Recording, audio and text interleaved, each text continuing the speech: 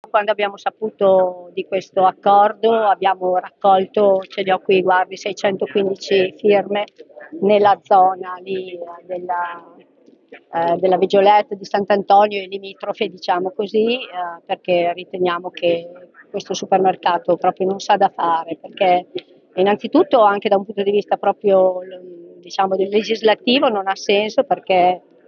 eh, quella è una zona inedificata, quindi in base alla legge eh, 24-2017 dovrebbe rimanere tale, nel senso che oramai non dovrebbe più, non, ha, non, non ci sono sopra dei, uh, del, degli edifici dismessi, non era una zona produttiva, ha, quindi assolutamente è un campo incolto e pertanto non è previsto dalla delibera eh, del Consiglio Comunale del 2019 numero 8 che questo, questo campo possa essere, eh, possa essere eh, assegnato, insomma, cioè possa essere, ci possa essere costruito un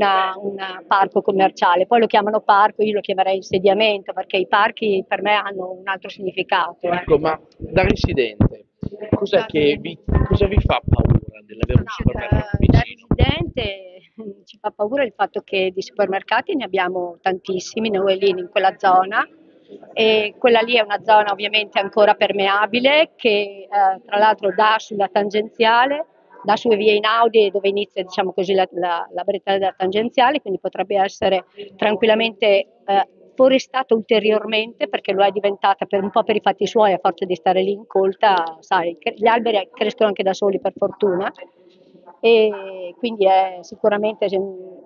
una zona di sequestro della CO2 e sicuramente qualsiasi cosa venga costruita lì per quanto si usino tutte le tecnologie che si vuole non potrà mai essere il suolo sarà rovinato per sempre ovviamente